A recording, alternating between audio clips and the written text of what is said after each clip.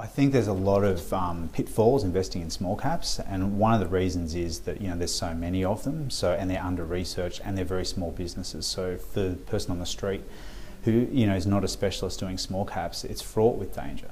Um, you know, a lot, there's a lot of great small cap managers out there.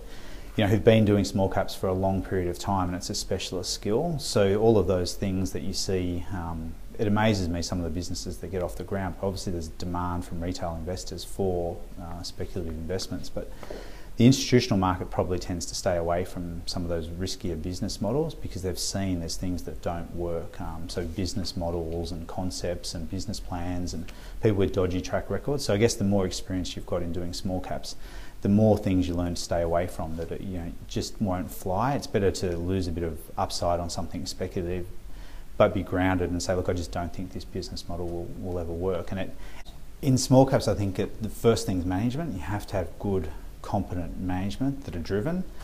And I think the rest, um, you know, is really comes down to cash flow and, and what's going to come out of the business. So I think the two key things are having good management and having, you know, a business model that you can understand where the cash is going to come from and long term is going to deliver returns to shareholders. Look, the, the smaller you go, the less quality the management are. It takes time for them to um, to prove themselves. But if you look at businesses, you know, I think that the, the management, and it's a big business now, Domino's Pizzas has done an, an, excellent job from being a very small business all the way through to being a large business.